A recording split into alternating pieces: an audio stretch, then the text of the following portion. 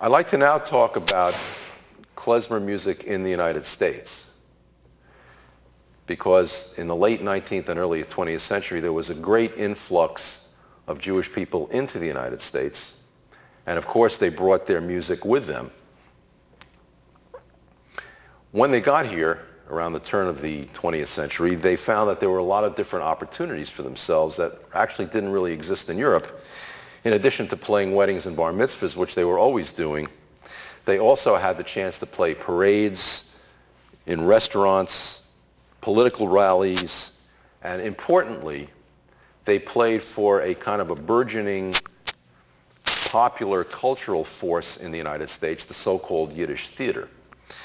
A lot of klezmer tunes that we know today were actually born from the, from the Yiddish theater and they were played by the Jewish musicians in the pit bands of that time for the shows.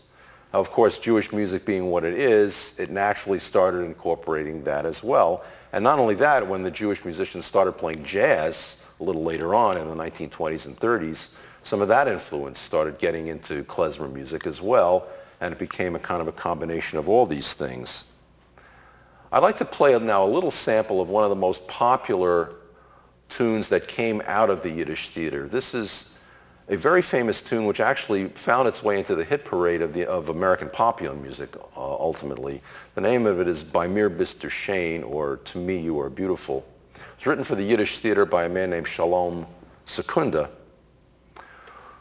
And it was an important song in the theater, but it was picked up by a man named Sammy Cahn, a, a, also a Jewish composer and lyricist who who liked the tune when he heard it, and he decided that he was going to try to get the rights to it and make a hit out of it.